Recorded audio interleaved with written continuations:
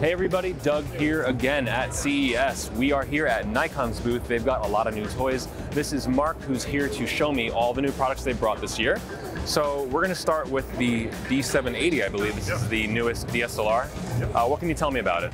Well, we just launched this, uh, and it's a highly anticipated uh, follow-up camera to the D750. Right. And the D750 being the most popular full-frame DSLR we ever had. So a huge amount of uh, people really uh, hoping out for it. Yeah. So really excited to bring- this to market. What can I tell you about it? Well, it's um, 24 megapixel full-frame camera. The body is redesigned. We don't longer have the uh, speed light, the built-in speed light, Right, right. but the weather sealing is improved because of that, because it's more robust. And I I guess I would describe it if you took some of the best features from the D850 and from the new mirrorless Z6, you kind of have like a combination of the two um, uh, cameras in the D750 with the new D780. What are some of the, I'm actually curious, what are some of the mirrorless features that were brought in? Of course, so the video features on this uh, product are really powerful. Um, and it's all due to the sensor, the 24 megapixel sensor, having built-in phase detection autofocus. So it's got 273 point autofocus system that covers 90% vertical and horizontal. And for video, that's going to be amazing, right? So you, you could be using F-mount lenses and getting incredible autofocus performance on a DSLR. Um, that's a big, big advantage. Other features such as 4K and slow motion HD video, you also have now in a DSLR as well. And that's exciting um, for anyone who's doing video and stills. Amazing. All right, what else you got to tell me about the 780? So a few other things on this camera. Over the D750, you know, we still have a tilting LCD, but now it's a full touch capacitive. You can actually touch, pinch the zoom and all that. You can even touch the focus in live view. Um, we've got two SD cards slots. That's the UHS-2, so the faster format. The battery life on this is amazing. It's over uh, 2,200 shots We're looking out at of the one same battery? Same battery as a, the um, uh, D850. Uh, it's a EN-EL15 uh, battery that you can use on this. Um, ISO performance is amazing, and you can shoot now up to seven frames per second when you're using it kind of like through the optical viewfinder, but if you flip it to live view, you can actually get 12 frames per second at full resolution. And um, you can also have uh, silent shooting, totally silent at full resolution. And if you're in live view, you can also have eye detection autofocus. So that's also a first for DSLR.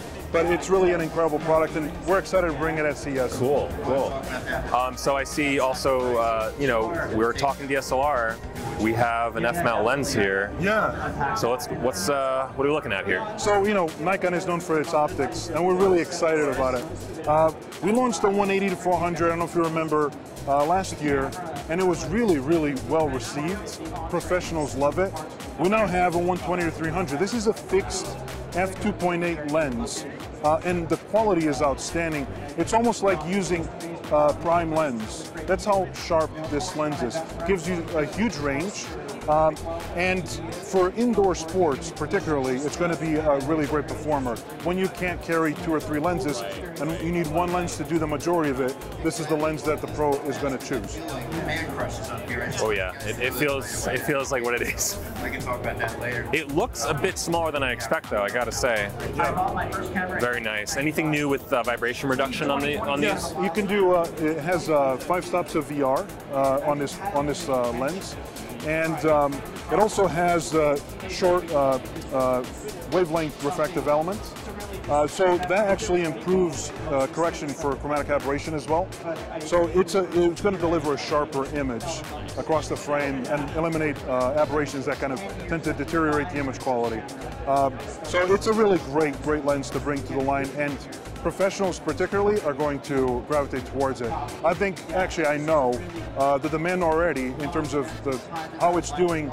Just in the few hours it's been live, it's very, very good. So it's exciting to have this uh, out in the public. Cool. So let's talk mirrorless now. Yeah. What do we have here? So speaking of highly anticipated lenses, 70 to 200, maybe the number one. Yeah. And for a professional, anyone doing weddings or events, um, things like concert photography, they've been dying to get this lens in their hands. It's nice and light, beautifully matched to the Z platform. Um, five stops of VR that is capable with when you're using it, uh, of course, with the Z system.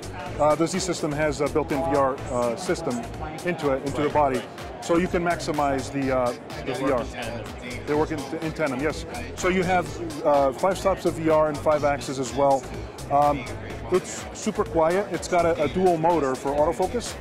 Uh, so it's actually faster and quieter, and you know delivers really, really sharp results very, very quickly. Amazing. You're filling out that, that mirrorless lineup, so that's good. I'm sure a lot of photographers will appreciate that. The 24 to 70 uh, has been super well received. This just continues that, um, and you know personally, I can't wait until the 14 to 24 because that's going to complete the trifecta of 14 to 24, uh, 24 to 70 and 7200. That's coming soon, but uh, for now, the 7200, the holy grail for a lot of photographers. So we're excited to have it here. Very nice. And we have one more product, I believe. Yeah. Now, this is, I always am interested about these because I always see people showing the moon Yeah. with this line. Might as well be a Yeah. telescope because everyone uses it to So, what is this we have here? So this is the new P950, and it's got an 83x zoom. Now get this, it's a 24 millimeter to 2000 millimeter, right? And it's amazing. Like you can see how light it is. If you were to do this with a, a, a larger sensor or an interchangeable lens camera, the camera would be this big, if, uh, if if not bigger. So really exciting to have this. This camera now. Um, uh, over the P900, it can also shoot RAW, which is great. Yep. So RAW NRW files you can shoot with this, so you can actually have a little bit more flexibility in post.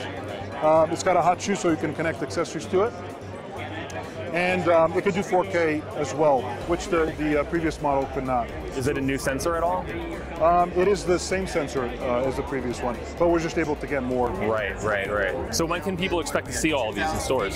So the uh, 780, you can expect it in uh, January, and everything else February timeframe, you'll be able to pick one up in the stores. Awesome. And I'm guessing people can learn more at Nikon. Nikon and also B&H Photo. Thank you, Uh, thank know, you. Check it out. All right, Mark. Thank you so much for showing me all the goodies here. We are at Nikon's booth at CES. I'm Doug with B&H, and I'll see you next time.